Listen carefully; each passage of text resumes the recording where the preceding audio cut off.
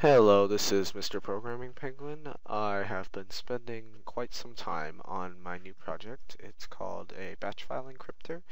It will encrypt the contents of a batch file you specify.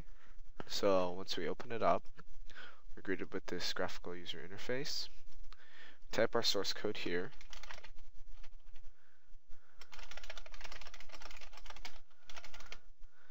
So right now we can save this to a batch file.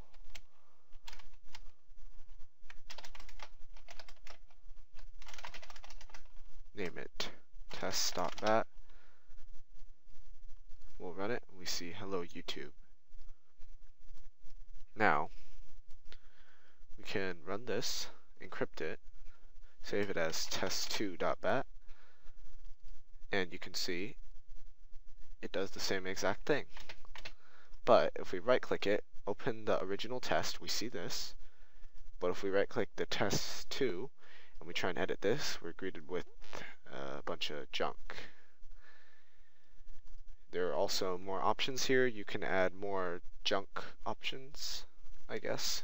Yeah, like you can add sets that set the variables to junk variables and junk control flow will make a bunch of random go-to statements.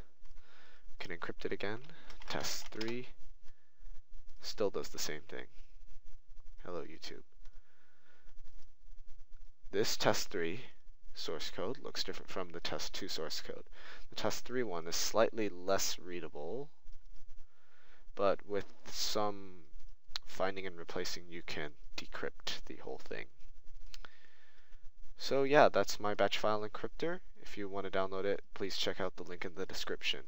Uh, thank you for watching.